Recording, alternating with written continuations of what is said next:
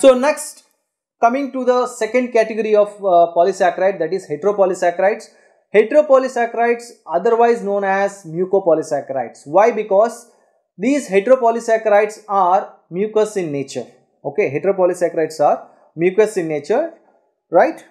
And they are very very important for structural aspects. Okay, these mucopolysaccharides are very very important for structural aspects. Okay, and they comes under category hetero. That means they are not polymer of glucose. In their structure, they do have glucose, they do have fructose, they do have mannose, they do have galactose. That means modified sugars. Okay, as I told you in the derivatives of sugars, glucose, when you attach a amino group to the glucose, it will form glucosamine. Okay, if you add amino group to fructose, it form fructosamine. Okay, if you add amino group to mannose, it form mannosamine. If you add amino group to galactose, galactosamine. So, this type of modified sugars present in these heteropolysaccharides. Okay, and maybe acid forms also, glucuronic acid may be there. Okay, right. So, uh, that's why as they carry like uh, mucus in nature and they are uh, modified sugars, they are otherwise known as glycosaminoglycans. So, other than carbohydrate, other substances are attached to this like phosphate, sulfate, amino, right. So, that's why they are known as glycose glycosaminoglycans, okay. So, these amino groups may be acetylated, sulfated, okay, and sometimes carboxyl groups may be attached in the structure, right. And attachment of these sulfate and carboxyl groups which aids the acidity of the molecules, right, and they are charged, okay. And some of them found in combination with proteins which forms mucoproteins or mucoids or proteoglycans okay? Which are uh, greater importance in uh, clinical part proteoglycans okay? And in mucopolysaccharides okay or in like uh, proteoglycans you can see here uh, proteoglycans the name itself indicate though protein name coming first their concentration is limited okay compared to the carbohydrate. So it is reversed in case of glycoproteins. Okay, in proteoglycans, the concentration of carbohydrate is more compared to the protein. But in case of glycoproteins, the concentration of protein is more and concentration of carbohydrate is less. So, mucopolysaccharides as I discussed, as we have explained in the earlier slide, okay, which are essential components of tissue structure.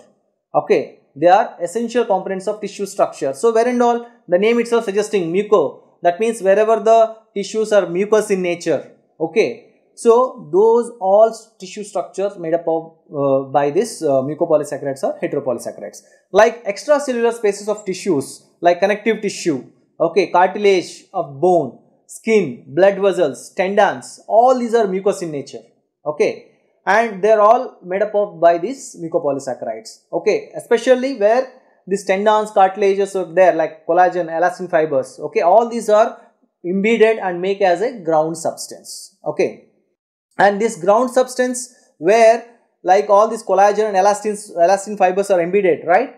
That is purely made by glycosaminoglycans or mucopolysaccharides. Okay, the main important mucopolysaccharides that we should learn are hyaluronic acid, chondroitin 4 sulfate, heparin, dermatan sulfate and keratin sulfate. So, we will see the location of these GAGs, okay, heteropolysaccharides or mucopolysaccharides or GAGs. In exams, they may ask you like uh, any one form of uh, this one name, okay. GAG, sometimes they will ask GAG, sometimes they will ask heteropolysaccharides, sometimes they will ask mucopolysaccharides, right. You should be strict that names are different, but the types of uh, heteropolysaccharides are same okay so coming to the hyaluronic acid the composition of hyaluronic acid okay it is made up of d-glucuronic acid. You know what is glucuronic acid. When glucose undergoes oxidation okay the penultimate carbon okay the last CH2OH undergoes oxidation to form COOH that is known as glucuronic acid right?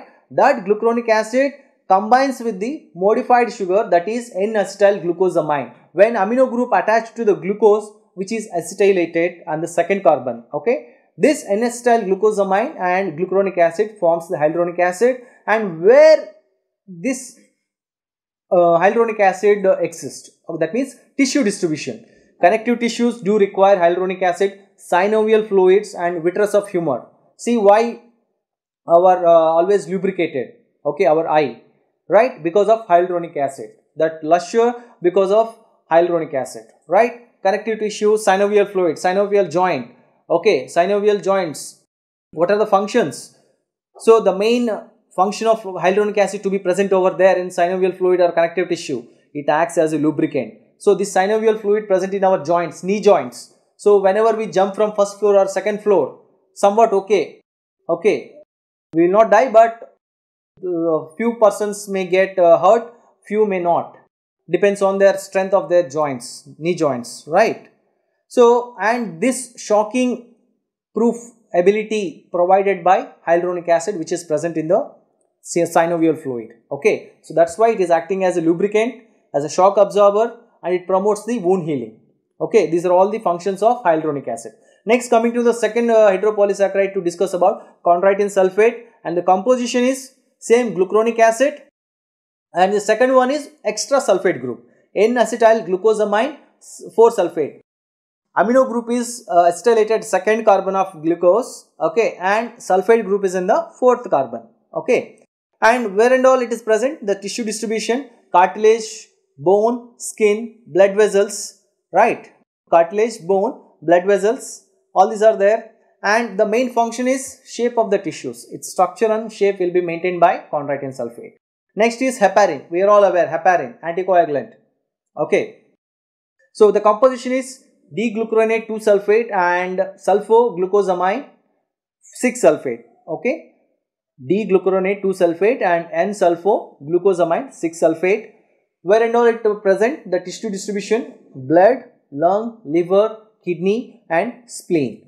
Okay, so the main function is anticoagulant function heparin. Okay, it prevents the clottings in the uh, circulation of uh, okay blood.